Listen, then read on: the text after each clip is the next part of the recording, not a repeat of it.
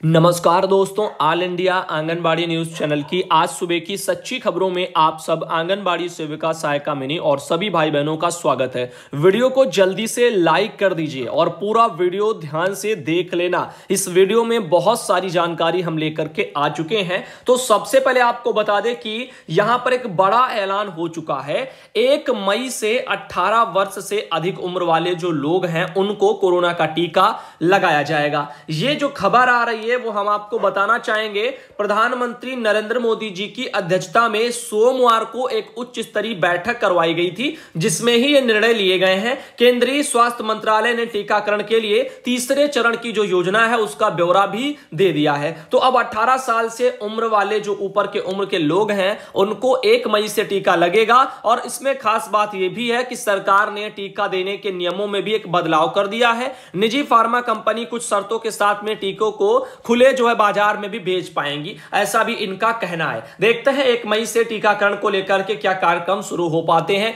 या नहीं। अब इनके अलावा हम आपको रियल केसेस के बारे में बता देते हैं। कोरोना के केस कल इंडिया में कितने आए। तो इंडिया में कल जो है कोरोना के केस आए हैं तीन लाख पंद्रह हज़ार सात सौ अट्ठाईस। वहीं पर डेथ हुई है दो हज़ार एक सौ दो।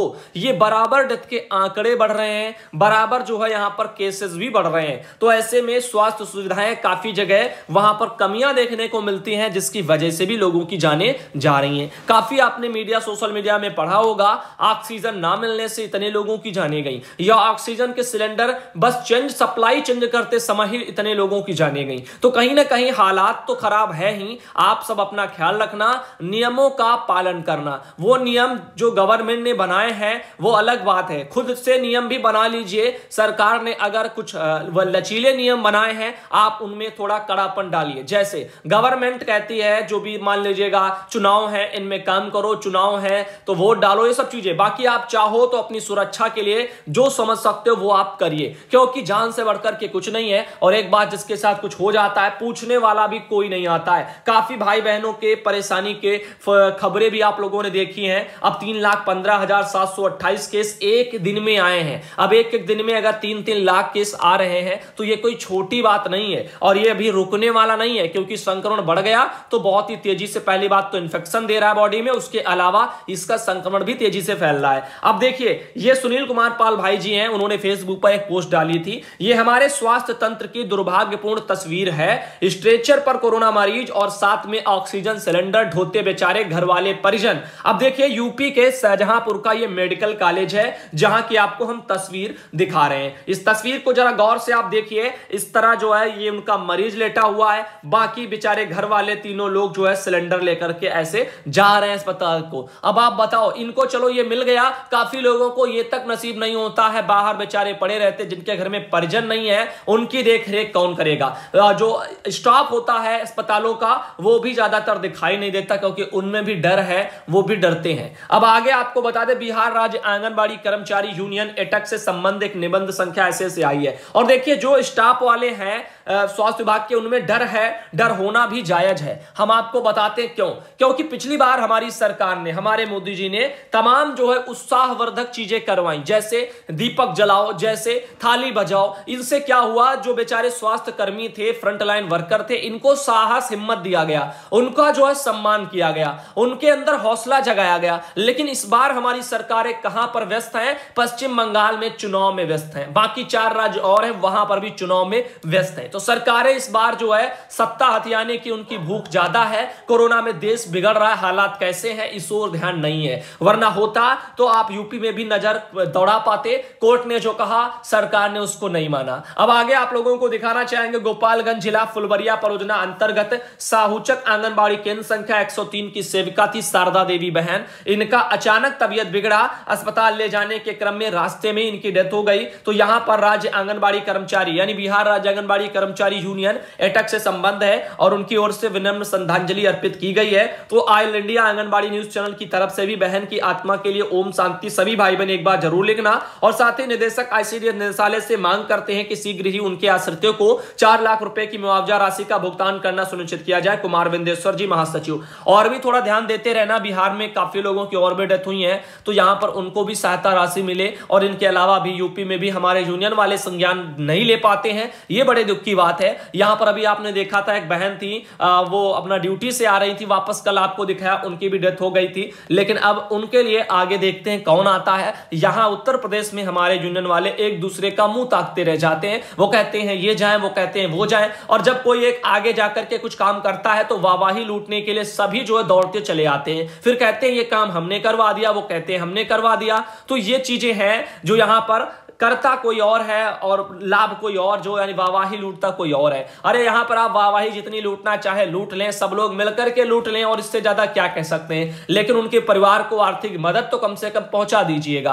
काफ़ी केसेस ऐसे आए जिनमें मदद ही नहीं मिल पाई, केवल जो सुर्खियों में बहने बेचारी बनी रही। अब देखिए, पंजाब के गुरदासपुर से भी खबर आई है, बारिश होने के बावजूद भी धरने पर बैठी रही हमारी आंगनबाड़ी वर्कर बहने। तो अभी आप लोगों ने देखा कल और परसों मौसम बहुत ज़्यादा खराब रहा। काफ़ी जगह यूपी वगैरह में तो कल खराब रहा है तो आप कल शाम को तो यहाँ पर बहने, जो मौसम खराब होने के बावजूद, बारिश होने के बावजूद भी धरने पर अपना डटी रही। साथ ही पंजाब के गुरदासपुर में आपको बता दें, आंगनबाड़ी बहनों ने रोस मार्च भी निकाला था, सरकार के खिलाफ बहनों ने नारेबाजी भी की थी। तो यहाँ पर कैबिनेट मंत्री हैं अरुणा चौधरी, उनके ही जो है घर के सामने ये धरना वगैरह बहनों का पक्का मोर्चा चल रहा है। लेकिन हमारे जो सरकारें, हमारे नेता, मंत्री लोग, इनको कुछ भी जो है दिखाई सुनाई नहीं देता है। लोगों की परेशानियाँ क्या है, इस और उनका जरा भी ध्यान नहीं जाता। अब उत्तरांचल के नैनीताल से एक और ये खबर निकली थी कि मीना बहन है। विषम परिस्थितियों में भी कोरोना से नहीं इन्होंने हार मानी है। साथ ही आंगनबाड़ी वर्कर्स को इन्होंने बहुत ज़्यादा हौसला दिया है। तो बहुत बहुत धन्यवाद इनको। और भी जो बहनें हैं, वो भी इसी तरीके से काम कर रही हैं। बाकी आप लोगों को पता है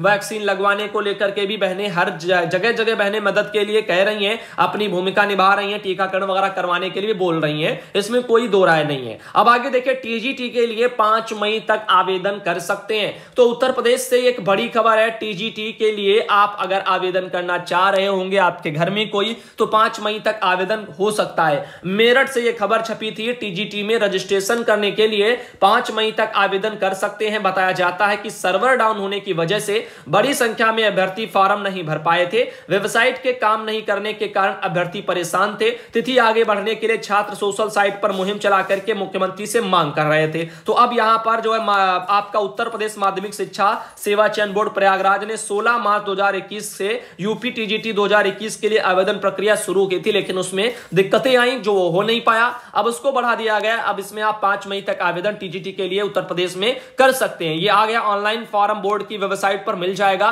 लिखा है डब्ल्यू और एस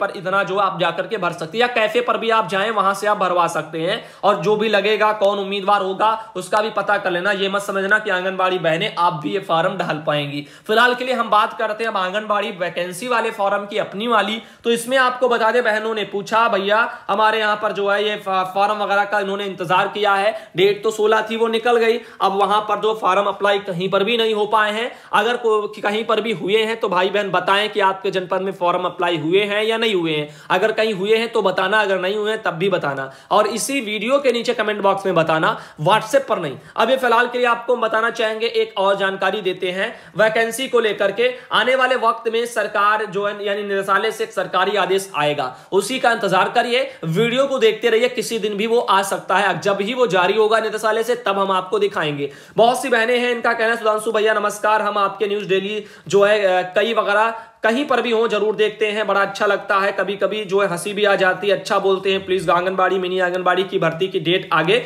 बढ़ेगी और अदर ग्राम पंचायत से हम अपना फॉर्म डाल सकते हैं। देखो, डेट बढ़ेगी, ये सही है, लेकिन यहाँ पर अदर ग्राम पंचायत से आप फॉर्म नहीं डाल सकती। उसी ग्राम पंचायत वार्ड मजरे का इंसान निवासी होना चाहिए। ये साफ़ साफ़ भर्ती चयन प्रक्रिया में लिखा है। तो अलग ग्राम पंचायत का आप अपने मन से कैसे सोच सकती हैं? जो हमने बताया, भर्ती चयन प्रक्रिया में जो समझाया, उन चीज़ों को ध्यान में रखिए। बेवजह अपने मन से अपने सवाल बेकार के खड़े मत करिए। वो किसी काम के नहीं है। रही बात फॉर्म वगैरह भरने की तो उसके लिए डेट अभी निदेशालय से अगले आदेश स्वरूप जारी नहीं हुई है। जब वो आएगी, तभी दिखाई जाएगी। और इसके अलावा हम आपको यही कह सकते बस इंतज़ार करिए। खबरों को समय से देखिए। जब आएगा, जो होगा, आपको बता दिया जाएगा। राजधानी लखनऊ की तर्ज पर बढ़ा है कानपुर में भी कोरोना का कहर। उन्नीस सौ बयासी केस जो है, कल आए हैं, देखने को यहाँ मिले हैं। वहीं पर कानपुर देहात में अगर हम एक्टिव सॉरी, एक्टिव कानपुर में अगर हम एक्टिव मरीज़ की आपको संख्या बताएँ तो यहाँ पर केस हैं चौदह हज़ार चार सौ इकहत्तर केस कानपुर में है। लखनऊ में भी ऐसे ही दोस्तों चल रहे हैं और इसीलिए कानपुर हो, लखनऊ हो, इन सब जगह काफ़ी परेशानी आ रही है। अब देखिए, एक और खबर आई थी ये, यहाँ पर कानपुर में जिला जज को नहीं मिला इलाज, कोविड अस्पताल नारायण के मालिक पर उन्होंने केस ठोक दिया। अब देखिए, अब जब जिला के जज हैं, जब इनको इलाज नहीं मिल पा रहा है, ये केस कर रहे हैं अस्पतालों पर, बताओ आप और हम जैसे क्या करेंगे? हमारा काम आपको भ्रमित करना नहीं है। हमारा काम आपको अंधेरे में रखना भी नहीं है। हमारा काम आपको सच बताना है, हिम्मत भी देना है। लेकिन इसका मतलब ये नहीं कि अंधेरे में रख करके आपको हम बरगलाते रहें, कह दें कि न कोरोना है, न कुछ है, डरिए मत, घबराइए मत। तो ये भी एक गलत बात है। जो है वो तो बताया जाएगा, जो चल रहे हैं सिचुएशन वो भी दिखाया जाएगा। अब रही बात हिम्मत की तो वो तो आप अपने अंदर से पैदा कीजिए। इंसान हर कोई जन्म लेता है और हर किसी को जाना होता है एक दिन। कोई पहले, कोई बाद में। तो इससे क्यों डरना? जिसका जो जब जाना होगा, जाएगा कोई हम हम या आप अकेले तो है नहीं। सब लोगों के साथ में है, वो हमारे साथ में भी है। और बस सावधानी बरत लीजिएगा आप। समस्याएँ आपको हम दिखा रहे हैं। समाधान आप ही कर सकते हैं। घर पर रहिए, सुरक्षित रहिए, मास्क का उपयोग करिए और ज़्यादा इधर उधर मिलना जुलना सब बंद कर दीजिएगा। खाने पीने का अच्छे तरीके से ख्याल रखिएगा।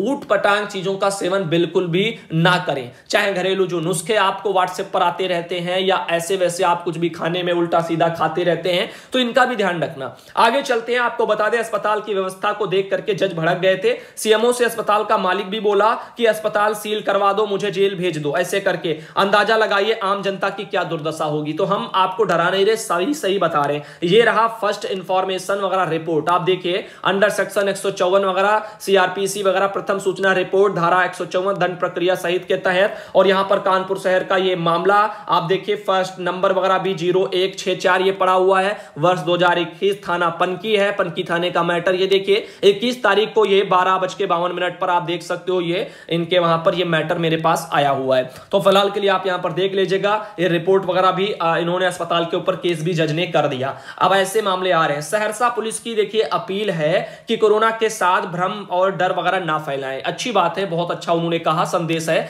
हम भी कहते रहते हैं कि जो वीडियो आपके लिए भ्रामक आते हैं, उनको आगे ना फैलाएँ। उनमें कहीं जो है बॉडी से अंग निकालने पार्ट निकालने के बारे में बोला दिखाया जाता है, उन चीज़ों को इग्नोर करें। हो सकता है ऐसा हो रहा हो, लेकिन आपको समझ बूझ रखनी है, अपने अंदर रखनी है, ज़्यादा इन चीज़ों को फैलाना नहीं है। कमज़ोर दिल वाले देख करके डर जाते हैं, और हो सकता है कि वो उसमें से कुछ मूवी के सीन भी हो। हॉलीवुड की मूवी वगैरह उनके सीन भी हो सकते हैं। काट करके भेज दें वॉइस ओवर उस पर कर दें, और आपको लगे कि ये सब रियल है, अभी का है। तो कहीं ना कहीं आप इन चीज़ों का थोड़ा ध्यान रखिएगा। देखिए, अच्छे इंसान बनने का प्रयास करें, और यदि आपके गरीब जो है करीब में कोई संक्रमित हो तो उसका हौसला बढ़ाएँ अच्छे अच्छे संदेश प्रेषित करें, फ़ोन पर उससे बात कर लें। फ़ोन पर तो बात की जा सकती है ना, फ़ोन से तो कोई संक्रमण फैल नहीं रहा तो फ़ोन से आप बात कर लें, उसको अच्छा लगेगा। अब आगे देखिए, खुशियाँ आप सब बांटे, भय ना बांटे, ये आप सबको जो है यहाँ पर बोला जा रहा है। अभी आप देख सकते हो, राजधानी पटना में कोरोना के इलाज के लिए अट्ठारह निजी अस्पतालों को इजाज़त भी दे दी गई है। आदेश वगैरह civil surgeon Patna doctor Rajkishore Chaudhary ने सोमवार को यह दे दिया है। मंगलवार से कोरोना मरीजों का उसमें इलाज भी शुरू हो जाएगा। मोबाइल नंबर भी यहाँ पर लिखा हुआ था इमरजेंसी वगैरह के लिए। आगे आपको बता दें, बिहार सरकार का एक लेटर हम आपको दिखाते हैं। उन्नीस तारीख को निकला है बिहार में और आंगनबाड़ी बहनों, पोषाहार से जुड़ा हुआ मैटर है। तो देखिए, माह जो अप्रैल है 2021 के लिए पूरक पोषाहार की जो राशि है, जो पैसा है, उसको अंतरित करने के संबंध में आया हुआ है। तो इसमें लिखा है, अतः निर्देश दिया जाता है कि संलग्न सूची के कालम तीन, चार के अनुसार संबंधित बाल विकास परियोजना कार्यालय में 24 घंटे के अंदर पेरेंट यानी चाइल्ड अकाउंट से माह अप्रैल 2021 के पोषाहार संचालन के लिए राशि उपलब्ध कराना सुनिश्चित करें। साथ ही साथ निर्देश दिया जाता है कि निदेशालय द्वारा इस हेतु आवंटन प्राप्त होने की जो उपरोक्त राशि को अविलंब पेरेंट अकाउंट में अंतरित कर दिया जाए। ऐसा करके जो है, ये लेटर वगैरह भेजे गए हैं और किसको भेजे गए हैं? निदेशक जी ने संबंध जिला प्रोग्राम पदाधिकारी को भेजा है। सभी जिलों के जिला प्रोग्राम प्रोग्राम पदाधिकारी को। समाहरणालय सहरसा है, यहाँ से भी एक यहाँ पर जानकारी देखिए आई हुई है। दुकानें हैं, इनके संचालन को लेकर के आया है। श्रेणी एक की जो दुकानें हैं, जिनमें इलेक्ट्रॉनिक्स वगैरह है और गुड्स है, पंखा कूलर एयर वगैरह कंडीशनर ऐसे चीज़ें हैं। और इसमें देखिए मोबाइल, कंप्यूटर, लैपटॉप, यानी सैलून, पार्लर, फर्नीचर दुकान, सोना चांदी दुकान, ये वाली जो श्रेणी एक की दुकानें हैं, ये आपकी लिखा है, ये दुकानें सोमवार, बुधवार और शुक्रवार को खुलेंगी। शेष दिन या मंगलवार, बृहस्पतिवार, शनिवार एवं रविवार को ये दुकानें पूरी तरीके से बंद रहेंगी। साथ ही श्रेणी दो की जो दुकानें हैं, जैसे कपड़ा की दुकान, जूता चप्पल और ड्राई क्लीनर्स वगैरह, श्रृंगार की दुकानें, ये आपकी मंगलवार, गुरुवार एवं शनिवार को खुलेंगी। शेष दिन यानी सोमवार, बुधवार, शुक्रवार एवं रविवार को ये दुकानें पूरी तरीके से बंद रहेंगी। अब आगे देखिए, श्रेणी एक दो को छोड़ करके शेष सभी दुकानें प्रतिदिन सुबह छह बजे से शाम छह बजे तक खुलेंगी। तो सुबह छह से शाम छह बजे तक आपकी बाकी दुकानें खुलेंगी, जैसे मान लीजिए किराना वगैरह, राशन पानी की दुकानें, ये सब दुकानें आप लोगों के लिए हमेशा खुलती रहेंगी। बाकी आगे आप लोगों को इसमें और भी जानकारियाँ लिखी हैं, लेकिन इतना तो आप सब समझदार हैं ही। चाहें तो इसका स्क्रीन ले लें और इसको भी आप लोग बिहार से हैं तो पढ़ सकते हैं। हम आगे चलते हैं, आपको और भी दिखाना है। मध्य प्रदेश के मुरैना में भी एक लेटर बीस तारीख को जारी हुआ। इसमें देखिए लिखा गया है कि जो है नगर निगम क्षेत्र में प्रत्येक घर में सांस लेने में तकलीफ़, खांसी, जुकाम, बुखार आदि से पीड़ित जो व्यक्ति हैं,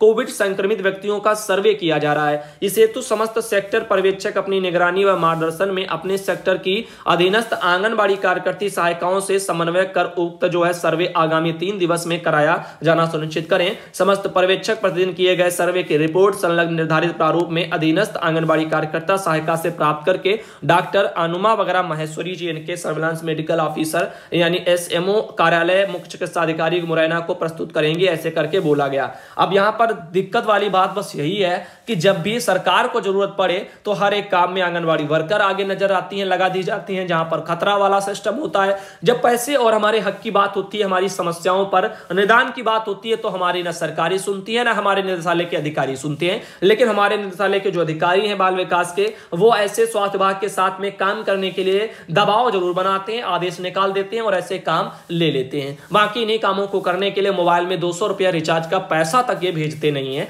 अब आगे देखिए, बिहार राज्य सरकार पंचायती राज की तरफ़ से ये बीस तारीख को एक लेटर आया, कोरोना महामारी की रोकथाम के लिए मास्क के उपयोग को बढ़ाने के संबंध में आया हुआ है। तो आप देखिए यहाँ पर यहाँ पर लिखा है कि हर ग्रामीण परिवार को छह मास्क उपलब्ध कराए जाएँ। मास्क की जो है कीमत पंद्रह रुपया जीएसटी अतिरिक्त से अधिक नहीं होनी चाहिए। दर वार्ता के आधार पर मास्क की कीमत न्यूनतम रखी जाए। ऐसे करके बोला गया। अब देखते हैं ये फ्री में जनता को मिल पाते हैं या लोग ही बीच में दबा जाते हैं। अब देखिए, लिखा हुआ है मास्क हेतु अधिकतम सौ रुपया, एक सौ, यानी रुपया मात्र प्रति परिवार की दर से पंद्रहवें वित्त आयोग के अनावृद्ध अनुदान मद की राशि उपयोग किया जा सकता है। तो सरकार ने पैसे के बारे में भी कहा, बिहार सरकार के पंचायती राज ने कहा कि मास्क की उपयोगिता बढ़ाओ, हर परिवार को छह छह मास्क दीजिए, लगभग सौ रुपया की लागत से। तो यहाँ इससे ज़्यादा नहीं होनी चाहिए। पंद्रह रुपया लागत के हिसाब से है तो छह मास्क पंद्रह छक्का नब्बे हो गए। तो फ़िलहाल के उन्होंने दस रुपया एक्स्ट्रा रख दिया है कि सौ से ऊपर नहीं होना चाहिए, इस हिसाब से आप मास्क ले लीजिएगा। और ये भी लिखा है कि जो है वितरण पंजी में हस्ताक्षर अंगूठा लेना भी ज़रूरी है। ये भी लिखा है कि मास्क का वितरण किसी भी प्रकार का एक फ़ोटो युक्त पहचान पत्र दिखाने पर किया जाएगा। यानी घर में आपको एक फ़ोटो युक्त पहचान पत्र दिखाना पड़ेगा, उसके बाद उसकी फ़ोटो भी आप खींच लेना, उस व्यक्ति की और उसके जो है सबूत की, वगैरह की, और उसके अलावा दो वितरण पंजी पर इन चीज़ों को आप अपना दर्ज कर लेना और ये सब काम शायद कराए जा रहे हैं। और यहाँ पर आप देखिए, मास्क दिए जाएँगे, इस चीज़ों को लेकर के चीज़ें आ रही हैं। अब हम इनको आप चाहे तो और पढ़ सकते हैं। यहाँ पर आप इसके लिए लाउड स्पीकर के माध्यम से प्रचार प्रसार के लिए भी देखो, सरकार ने बोला है। अब आपको हमने दिखा दिया, आप अपने वहाँ पर लोगों को बता देना बिहार में कि मास्क के लिए गवर्नमेंट कह रही है। एक परिवार में जो है, पाँच कितने मास्क देने के लिए कहा गया है? छह छह मास्क देने के लिए कहा गया है। अब जिसके घर में मान लीजिए तीन ही चार लोग हैं तो फिर क्या छह मास्क का वो करेंगे? तो तीन ही मास्क दिए जाएँगे। और मास्क की क्वालिटी देखो, अच्छी होगी नहीं, क्योंकि आप अब सोचिए, पंद्रह रुपए की लागत में कैसा मास्क मिलेगा। बिहार सरकार का एक ये मेरे पास मैटर और आया हुआ है। आप इसको भी स्क्रीन ले सकते हैं और पढ़ सकते हैं। यहाँ पर क्या क्या लिखा हुआ है। देखो, गाँव में किसी भी व्यक्ति को लक्षण होने की स्थिति में तुरंत प्रभारी चिकित्सा अधिकारी को सूचना दो। सोशल डिस्टेंसिंग बना करके रखो सैनिटाइजर वगैरह का उपयोग करो। ऐसे चीज़ें लिखी है। लेकिन गरीब जनता जिसके पास खाने के लिए नहीं है, वो इन चीज़ों को लिए सैनिटाइजर सैनिटाइजर क्या बेचारी कर पाएगी? ये तो काम सरकारों के हैं, साफ़ सफ़ाई सैनिटाइज वगैरह करवाना, ग्राम प्रधानों की ज़िम्मेदारी है, लेकिन ये निभाई नहीं जा रहे, जिनको पैसा भेजा जा रहा था जिनको जिनको पहले भी दिया गया, वो पैसे डकार डकार के बैठ गए, लोगों को सुविधाएँ उन्होंने नहीं पहुंचाई। प्रधानी के चुनाव में लोग जो है, करोड़ों रुपए हर एक ग्राम सभा में फूक सकते हैं, जनता को दारू वगैरह पिलाने के लिए और यही सब प्रचार प्रसार में पर्चे छपवाने के लिए। लेकिन वही पैसे अगर विकास में लगा दिए जाए, वही पैसे देश के, वहाँ के जनता के हिफाजत में लगाए जाए, जैसे मान लीजिए वो पैसा बर्बाद हुआ, उस पैसों को एक अपना गाँव के नाम से एक बैंक टाइप का खोल लें, छोटा सा अकाउंट उसमें अपना पैसा जमा करें। और गरीब जो भी इंसान हो गाँव का, उसको मदद स्वरूप जब पैसा चाहिए हो तो उसको उसी में जो है दे दें। उधार स्वरूप दे दें, उसका जो है समय पर काम आ जाएगा। क्योंकि काफ़ी बार बैंक से भी लोगों को लोन नहीं मिल पाता तो शायद वहाँ से गाँव से ही ये पैसा मिल जाएगा। लेकिन ये करता कोई नहीं, और जो कोई करेगा तो उसके ऊपर बड़ी ज़िम्मेदारी रहेगी। और यहाँ पर आगे आप देख लीजिएगा, एक मैटर ये आया था मेरे पास कि यहाँ पर ये उत्तर प्रदेश माध्यमिक शिक्षा सेवा चयन बोर्ड प्रयागराज से जारी है। इसमें लिखा हुआ कि ऑनलाइन आवेदन हेतु पंजीकरण करने के लिए, शुल्क जमा करने के लिए, आवेदन सबमिट करने के लिए अंतिम तिथियाँ ये दी हैं, एक पाँच, तीन पाँच और पाँच पाँच ऐसे करके आई हैं। एनआईसी के ई परीक्षा पोर्टल के सुचारू रूप से इस चीज़ को लेकर के है फ़िलहाल। ये इसमें लिखा क्या है, ऊपर हम आपको पढ़ के बताना चाहेंगे। माध्यमिक जो अशासकीय माध्यमिक विद्यालय में प्रशिक्षित स्नातक शिक्षक एवं प्रवक्ता के विषयवार अनारक्षित जो श्रेणी के लोग हैं। आंगनबाड़ी बहनों, हम सबके लिए इसमें नहीं है। आगे आगे चलते हैं। बिहार सरकार का एक और ये लेटर आया था। आप देखिए, पिछले आदेशों के द्वारा दुकानों को सात बजे संध्या तक बंद करने का आदेश था। लेकिन अब छह बजे ही शाम को जो है, सारी चीज़ें बंद हो जाएँगी। निजी कार्यालय पाँच बजे ही बंद हो जाएँगे। ऐसा करके सरकारी निजी कार्यालय जो है, वो पाँच बजे शाम को ही बंद हो जाएँगे। और बाकी जो आपकी दुकानें हैं, वो छह बजे शाम तक बंद हो जाएँगी। सुबह से छह और शाम के छह तक चलेंगी। बाकी तो हमने आपको अभी बिहार का कुछ मैटर और भी दिखाया था। और रात्रिकालीन कर्फ्यू भी देखो, लागू रहेगा। और जो आपकी ये है, जैसे बस, हवाई, रेल यात्राएँ, या प्रतिबंध भी लागू नहीं, यहाँ पर मतलब प्रतिबंध उनका कहना नहीं लागू रहेगा। तो ये तो फिर दिक्कत वाली बातें जहाँ लागू होना चाहिए, वहाँ लागू नहीं होती हैं। अब इसमें भी आप चाहो तो स्क्रीनशॉट ले सकते थे, और ये देखो उम्र के अनुसार में सामान्य रक्तचाप को लेकर के भी जानकारी आई है। यानी उम्र जब बढ़ती है, उसके साथ में रक्तचाप धीरे धीरे वृद्धि होती है।